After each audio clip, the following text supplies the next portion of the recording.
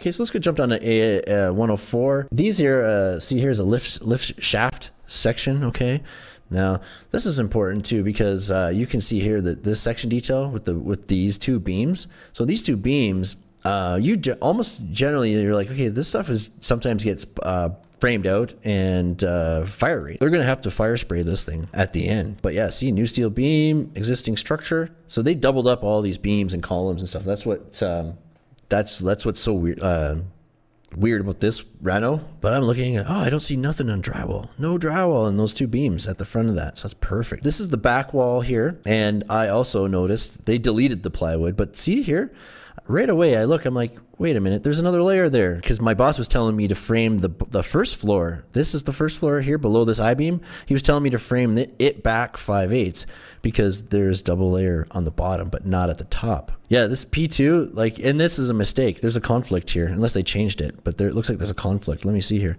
Yeah, so P1, see this here? It's a P1 wall on the fir- on the second floor. It's only it's a P1, so that's o- that's only one layer, and this is a P3.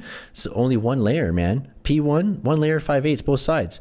So here's a here's a conflict right here. Okay, so it's labeled as a P1 here with only one layer, but it's showing as a P2 here on the second floor because this this here is the second floor. See to under second floor here. That is worth clarification almost. Okay.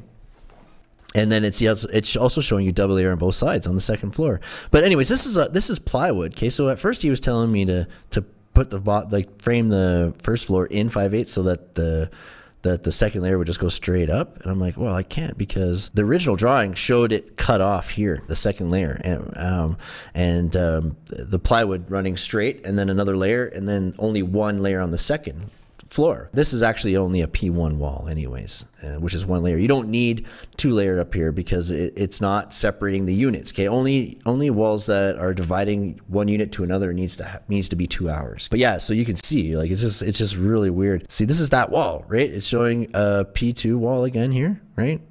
But uh, over here in the floor plan, it's just a P1. When I was estimating I'm such a good estimator. I never miss anything.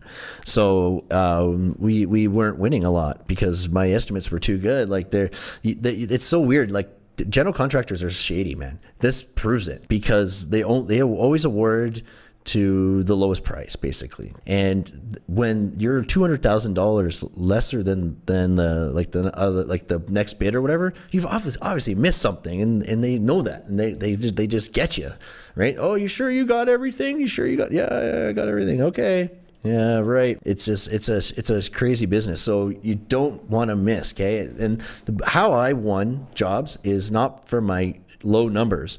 It was my involvement in the estimating in the estimate process, talking to the designers and the general contractors and making sure that we had everything included, okay, and that we had all the systems designed ahead of time. And you know, it, it's just not always the most strategic way to win jobs, but it's it's like who do they call after the other guys screwed up, right?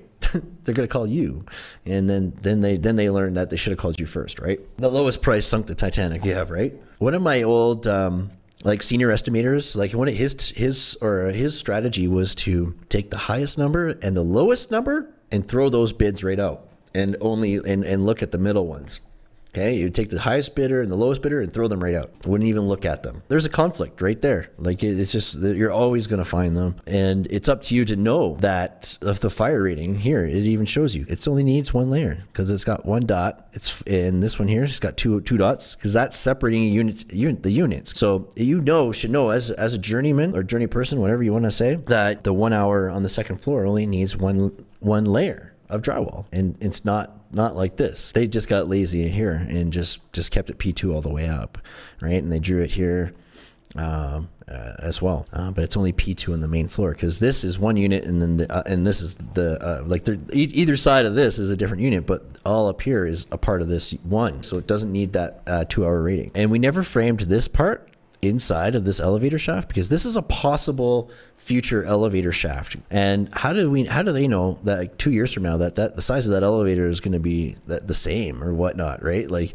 um you're you gotta you definitely don't want to do that. So we just frame straight across here. Uh we and i cut the bottom track uh, here for the opening so that we can take it out or that someone can take it out later, right? Align face of wall with edge of floor. So what that means is exactly like if you go back to my layout laying out video, when I laid this wall out, I laid these walls out on site. Okay, you go back to that video. Um, I came in uh, five eighths from the concrete, and because that's the end, end of the wall is your drywall. So that's how that's where you find out where to put it. And this happens a lot, okay, align face of wall uh, with edge of floor. Okay, no problem, right? So you want to bring your steel in 5 eighths so that the drywall lands flush with the concrete. And it might be might be kind of funny because now all of a sudden you've got concrete, Q deck, and a beam or a joist, right? And it's all exposed, but that's where it tells you. Could you imagine? And there, can you imagine trying to have to hang the drywall like suspended in the air though, without that little five eight slip too? Like, come on, that'd be crazy, right? But yeah, look at all your little details. The like, you never know whether be a, where there'll be a um um a, like a direction that you need. Okay, so if if the project doesn't come with a specifications book, okay, like sometimes the the specifications come in books, okay? And some projects have volumes of specifications, and it's crazy. Um, you got to make sure you read everything real, everything related to your trade because it's going to tell you, it's going to give you details on fasteners, it's going to give you details on um, spacing, and and it's also going to give you details. So. Um, sometimes there's little fire rating requirements, okay, where there's columns inside of walls, and a lot of times we just frame them over, but they actually need to be um, enclosed in drywall too right? And then drywalled over top. There's sometimes you gotta you gotta fire rate that. You gotta really pay attention to the fire rating. Okay, not a big set of drawings, but there wasn't a lot of work there. But you can see like just so something so simple, it's still you gotta know how to uh, put it all together, right? So if you're if you're like yeah like low like the low bidders like yeah they're always they always run into problems and stuff like there's always issues with that. I don't understand why contractors do that.